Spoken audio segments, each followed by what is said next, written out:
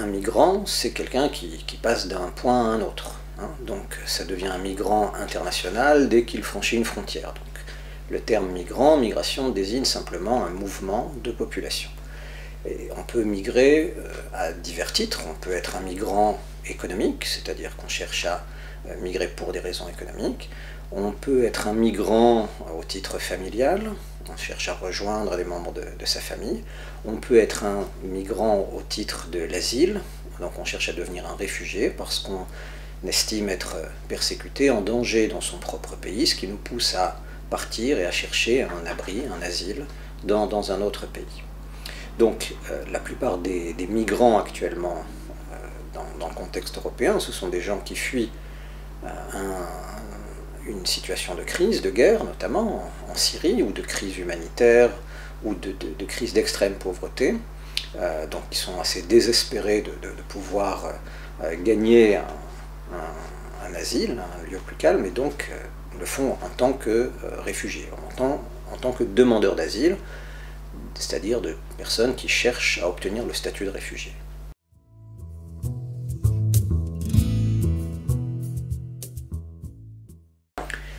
La situation actuelle, les migrants qui arrivent au titre de, la demande d'asile et du statut de réfugié représentent l'essentiel de la migration vers l'Europe aujourd'hui.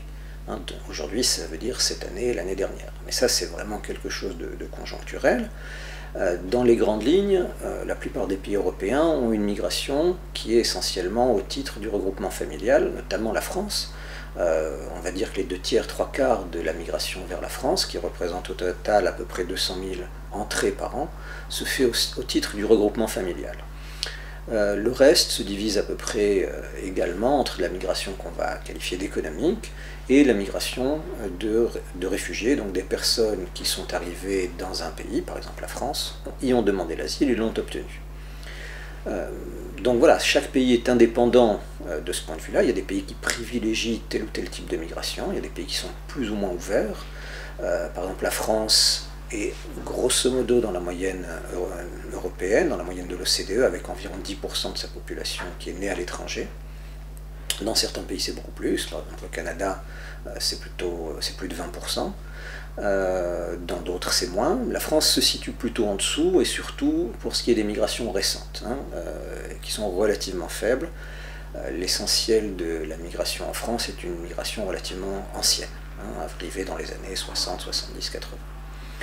Euh, maintenant, chaque pays, comme je l'ai dit, a une politique migratoire différente. Certains privilégient l'immigration professionnelle, par exemple. Beaucoup de pays anglo-saxons euh, ont des systèmes par points qui cherchent à favoriser la migration économique des personnes les plus qualifiées. D'autres favorisent, comme la France, la migration familiale. D'autres, comme les pays scandinaves, ont euh, une, structure d'immigration assez équilibrée entre migration économique, familiale et humanitaire.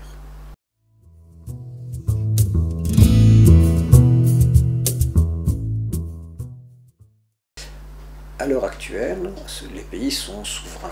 Chaque pays décide selon ses propres critères euh, qui, parmi les gens qui demandent l'asile chez lui, euh, va, l'obtenir.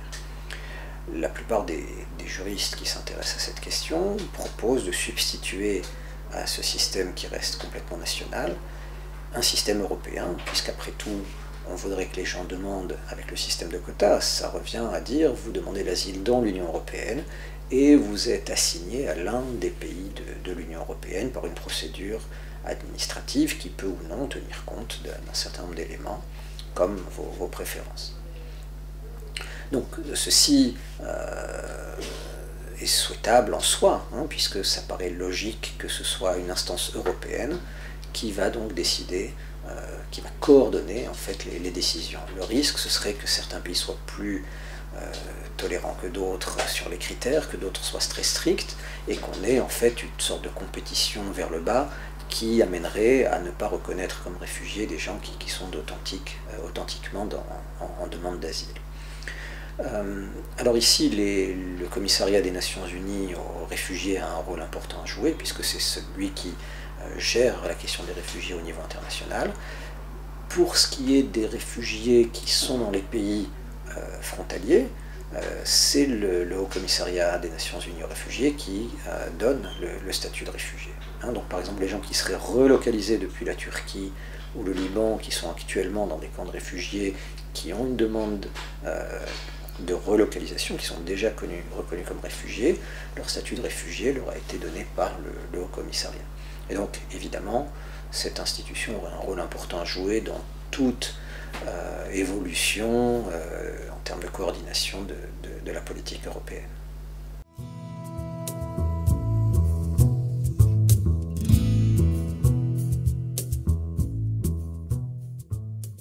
Alors, chaque pays est différent pour plein de raisons.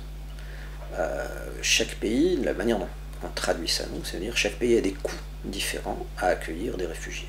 Ces différences de coûts, elles peuvent venir de plein de raisons. Ça peut être des problèmes de structure démographique, par exemple, on a des pays jeunes et des pays vieux.